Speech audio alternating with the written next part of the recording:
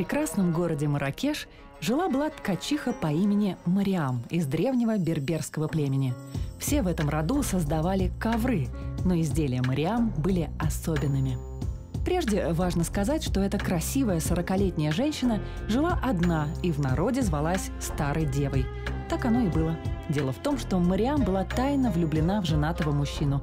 Так всю жизнь не промаялась, никого не подпуская к себе. Сердце у меня одно, одному и будет принадлежать. Женщина не кляла судьбу, не завидовала, не горевала. День ото дня все свободное время она посвящала ткачеству.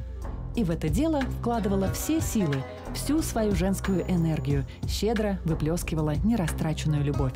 И обязательно, по традиции племени, опаливала огнем края, чтобы защитить изделия от злых духов. О коврах Мариам знали повсюду. К ней приезжали пары, утратившие былой огонь. Они считали, что только чудо способно вернуть прежние чувства. Ходили слухи, что во время работы ткачиха заговаривает ковер на удачу и любовь. Но чтобы заклинание подействовало, нужно было выполнить одно условие.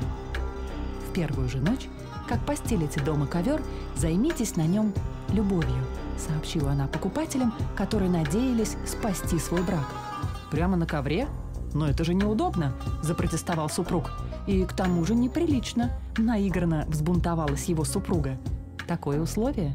Сделайте это, смакуйте момент, насладитесь друг другом, не торопитесь, не бойтесь своих желаний, будьте ласковы, как никогда, будьте откровенны, и вы увидите, произойдет чудо!»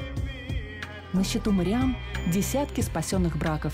Один скептик спросил, что такого в этих коврах?